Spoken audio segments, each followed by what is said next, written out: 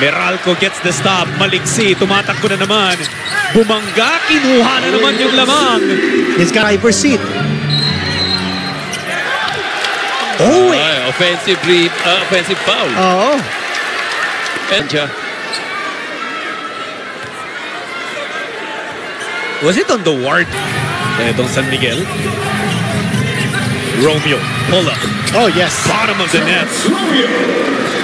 Walang si Terence Romeo. But that was a very important basket. so is this. Tama, oo. Nakita ko din Ipinato yun. niya yung bola, tinamaan yung cameraman eh. Nakita ko Oo din yun. nga eh. Oo.